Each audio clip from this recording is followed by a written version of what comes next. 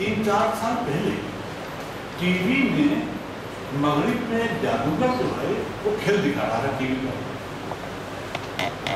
और उसने, अगर आपने देखा हो कि एक पीछे एक बहुत बड़ी झील या समंदर है, उसके पीछे पहाड़ है, और वहाँ पर उसने कर्टेन लगा दिया। और लोग बैठे हुए हैं, अब वो कहता है कि देखिए कर्टेन हटाया है देखिए क्या है सामने। सब देख रहे हैं कि हाँ पहाड़ नज़र आ रहा है, दरख्त दिखाई दे रहे हैं, समंदर नज़र, या पानी नज़र आ रहा है, और सब कुछ दिखाई दे रहा है। ये पूरा मंजरनामा है। कर्टेन वो फिर सामने कर देता है, पर्दा पर्दा गिरा देता है। पर्दा गिराकर और फिर पर्दा हटाता है। पहाड़ लाया। वो पूरा मंजरनामा गायब हो गया। हमारे बच्चे जो कहते हैं क्या चाह लगे कि सब देखिए देख रहे हैं उसे। अंदर से कहाँ से क्या होगा इसमें? किस कैसे हुआ होगा? ये तो हो ही नहीं सकता। अब यानी जहाँ ये सवाल आता है तो इसका मतलब ये कि आप लुत्फ नहीं लेना चाहते उससे आप थोड़ी देर से जादू से तो एक लुत्फ लेना है, वो आप लुत्फ नहीं लेना चाहते। फिर वही जादूगर एक लेडी को खड़े पे देखने वाले। वो कहते हैं आप में से कोई आ जाओ। तो एक लेडी कहती है अच्छा आ जाओ। तो उसके तरफ़ लेट जाओ वो एक टेबल है, जो कि बीच में से कटी हुई है, वो लेडी उसके ऊपर शाल डाल देता है. इसके बाद वो कुछ देर में बीच में हाथ डालता है और उसे यूँ करता है. तो उसके पैर अलग हो जाते हैं और थड़ अलग हो जाता है उस लेडी का. अब बच्चे देख रहे हैं लेडी की तो हो नहीं सकती. ठीक है? देखो कुछ चालाकी की इसमें. देखिए टेबल देखिए, नीचे तो टेबल भी खाली थी मालूम कुछ नहीं था। तो ये करता है, और फिर वो लेडी जो है, उसको नीचे उतारता है तो यहाँ तक बगैर पैर की जो है उचक रही है रो रही चीख रही है क्या हो गया भाई तो मैं ऐसा कर रहा था कि जादू जो है, वही अदबिन जादू है। उससे लुत्फ लेने के लिए, थोड़ी देर के लिए आपको सस्पेंशन ऑफ़ डिसबिलीफ से बिलीफ से काम लेना पड़ेगा। अपने अकाइद से को एक तरफ़ रखकर, अपने ताकुर को एक तरफ़ रखकर ही आप शिक्षण तो पुराना आपको आइए आज के शिक्षण की मैं आपको बात कर रहा हूँ।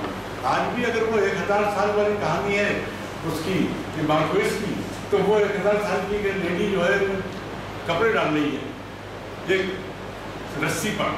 और ऊपर सर क्या है, वो ऊपर उड़ गई। एलिवेशन कहते हैं उसे। एलिवेट और वो ऊपर निकल गई।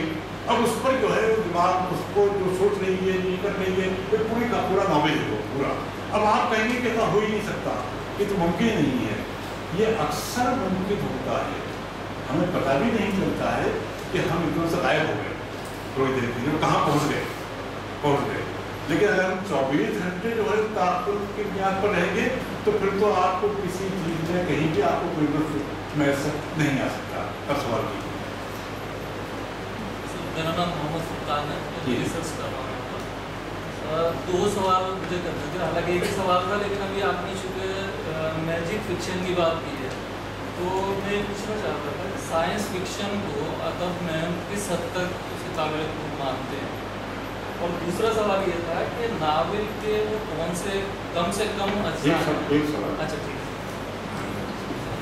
ठीक साइंस फिक्शन जो है वो उसी तरह से हम एक बड़ा फनकार एक बड़ा अदीब जब साइंस फिक्शन लिखता है तो वो क्या होता है? और एक महाना साइंस फिक्शन लिखने वाला, वो क्या होता है? और एक मगरब में लिखने वाला क्या होता है? मगरब में फिक्शन लिखा जाता है और लाखों कॉपियाँ एट ए टाइम चलती हैं तो वो तो गर्त रहते हैं अपने जैसे कि सकती थी आपका दरिया वो कराची में होटल में जाकर मैं इतने वक्त गुजारा मैंने सब किताबें लेकर गई थी वहाँ बैठकर मैंने लिखा है कि दुनिया से कट गई। बिल्कुल दुनिया माफिया से बेनियाज हो गई। तब कहीं मैं मैं आपका दरिया लिख सकी। इसी इसी तरह से ये कि आप जो बता रहे हैं कि जब हम कोई कहीं कुछ भी सवाल पूरा सवाल क्या था। साइंस फिक्शन हाँ तो ये ये मगरिब में तो लाखों कॉपी डाली पब्लिशर भी हावी है कि नहीं? ऐसा एक एक लफ्ज एक एक जुमले पर गौर खोज किया जाता है। तो हमारे यहाँ साइंस फिक्शन की आपको दूसरी मिसाल बताते हैं। अगर आप साइंस फिक्शन की दूसरी मिसाल देखें तो बहुत अच्छी मिसाल है। यह है कुर्रतुल की अगर कुर्रतुल का वो अफसाना रोशनी की रफ्तार पढ़ा हुआ आपने अब एक रोशनी का रफ्तार और एक इलाहाबाद में साइंस पर लिखने वाले महारानी उन दोनों में बहुत फ़र्क है। रोशनी की रफ्तार कुर्रतुल का एक वाहिद अफसाना है, जो कि साइंस फिक्शन में होती है। लेकिन वो लिखा हुआ कुरतुल का है बड़े राइटर का लिखा हुआ है। तो वो उसमें सारी ऊपर सलाहियत जो दूसरा स्थान में है वो यहाँ भी कायम है इसलिए वो आप आप जब वो लड़की है पदमा और वो खुद स्पेस इंजीनियर है। वो जो है, वो देखती है कि बाहर में आ गया है कोई जहाज़ हुआ कोई चीज़।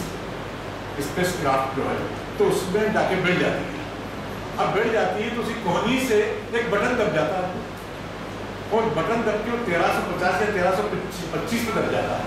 तबले मसीह और वो उड़ने लगता है। एलिवेशन जो मैंने बताया, ऊपर उड़ना। उड़कर मिस्र में चला जाता है। और तेरह सौ पचास का मिस्र, ऐद कदीम का फिरायन मिस्र फिराना फिराना फिराना का मिस्र, जिसकी अपनी पुरानी तहजीब है, वो वहाँ पहुँच जाती है। वहाँ पहुँचकर वो तमाम जो कि तहजीब और सकाफत और जो वहाँ के अखबारी निज़ाम है, ये तमाम देखती है, तमाम चीज़ों में होकर और फिर किसी ना किसी तरह से वो वापस आ जाती है, बटन बटन कुछ अगर कुछ उसको पता चल जाता है, लेकिन आ जाती है। मैं याद कर रहा था कि उस साइंस फिक्शन में, जो कि खुद मैजिक है मैजिक रियलिज्म है मैजिक रियलिज्म इसीलिए है कि वो रियलिज्म की बुनियाद पर खड़ा हुआ है। एक मशीन की बुनियाद पर खड़ा हुआ है। मगरब में साइंसदानों ने 1920 में चाँद पर पहुँचा दिया था इंसान और दास्तानों ने सदियों पहले तालीम पर उड़ाकर घोड़े के उड़ाकर हवाओं में पहुँचा दिया था, जहाज़। अब वो तो आज की पैदावार है हमारे प्लेन लेकिन उन्होंने उड़ाया था। तो दिमाग यानी ये ये भी साइंस फिक्शन है कि वो आदमी चाहता है कि घोड़ा तो वो सबसे तेज दौड़ता है, लेकिन इससे भी तेज कैसे दौड़े? तो पर ले लिए तफजुल के ज़रिए और वो बुराक लगा दिया, वो घोड़े में लगा दिया घोड़ा जो है सबसे तेज दौड़ रहा है, हवा में उड़ रहा है गोया तो ये बाद में इंसान ने उसी तरह से तरक्की की और वो तगोदौड़ रहा, उसके बाद वो आज इस मंजिल पर पहुँचा है कि वो चाँद पर भी मरीख पर भी पहुँच रहा है और बड़े बड़े कारनामे अजीब अंजाम दे रहा है.